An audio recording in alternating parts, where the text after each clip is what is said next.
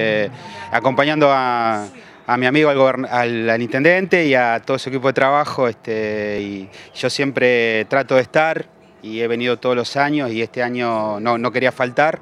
Así que estoy muy contento, ¿no? Uno ve bien a la gente. La verdad que las fiestas populares son movilizantes, las vamos a defender siempre. Creemos que es una inversión que se hace, así que que los artesanos muestren sus, sus cosas, que los artistas, que la gente vea números artísticos y que la, familia la pase, la pase bien es lo que uno busca apoyando este tipo de, emprendimiento. Tantos años de presencia, ¿nota, percibe lo que es el crecimiento de esta fiesta? Sí, va, es una fiesta nacional, que, va creciendo, pero fundamentalmente yo creo que lo más importante es que la familia, que la familia de Santa Cruz y los que nos visitan se acerquen y pasen un buen momento.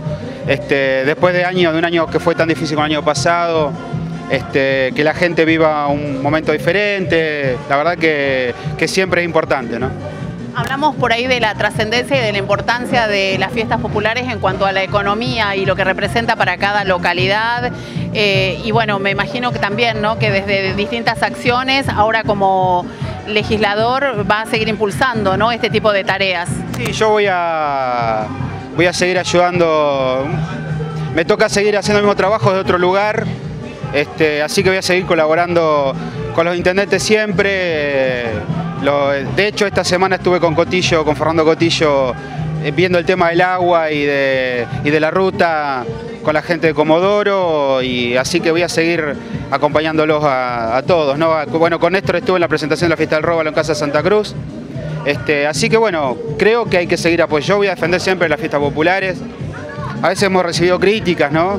¿Por qué? Y porque la gente eh, a veces se critica que se invierte plata que podría ser este, destinado a otro tipo. Pero bueno, esto genera movimiento económico en la ciudad, a la gente le, hace bien, me parece, y lo vamos a seguir defendiendo. Y la respuesta de los vecinos en esta oportunidad ha, roto, digamos, todos los antecedentes. Sí, yo, yo creo que la gente la va incorporando con el tiempo y se va, se va masificando. Y la gente de otros lugares, yo vi mucha, mucho movimiento de, Río Gallegos para acá, este, así que es bueno, me parece que, hay que seguir pensando en este tipo de fiestas populares. Ayer con Pablo Grasso este, estuve reunido a la mañana, después de mucho tiempo, este, y pensamos en armar algo así también en Río Gallegos, vamos a ver. Necesita eso la capital provincial, un impulso, sobre todo en el turismo. Y en la cultura me parece, ¿no? Me parece que nosotros tenemos que, ver el tema cultural también en Gallegos. Gallegos viene relegada de otras localidades en este sentido, en muchísimos sentidos, ¿no? Pero creo que el tema de la cultura es un tema que nosotros tenemos que trabajar.